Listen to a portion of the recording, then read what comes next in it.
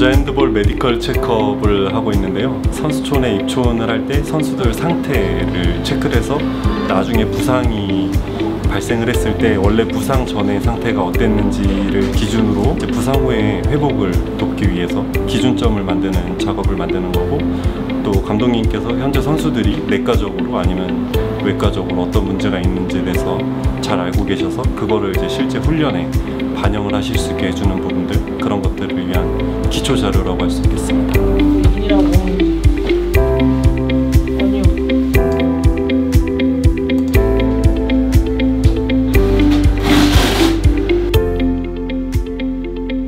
핸드볼 선수들 골밀도 검사 중입니다. BMD 장비를 이용해서 전신 스캔하면 골밀도 수치도 나오고 체지방량도 나오고 기타 다른 수치들을 얻을 수 있습니다.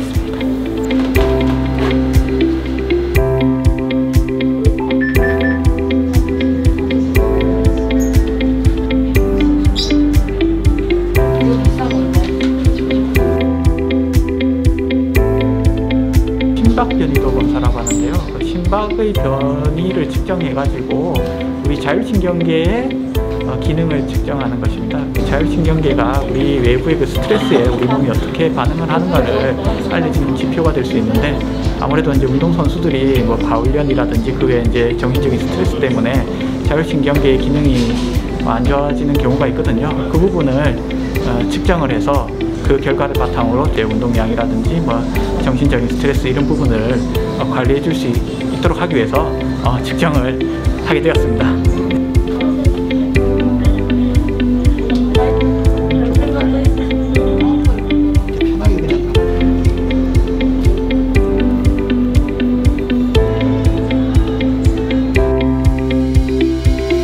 아, 저희가 지금 올림픽 출전권을 따서 지금 준비하고 있는데요. 일단은 선수들 몸 상태를 이제 컨디션 잘 확인해서 거기에 맞는 일대일 이제 special care 들어가려고 준비하고 있습니다. 그 다음에 이게 이제 각도 재는? 지금 더 하자. 더더더더더더더더.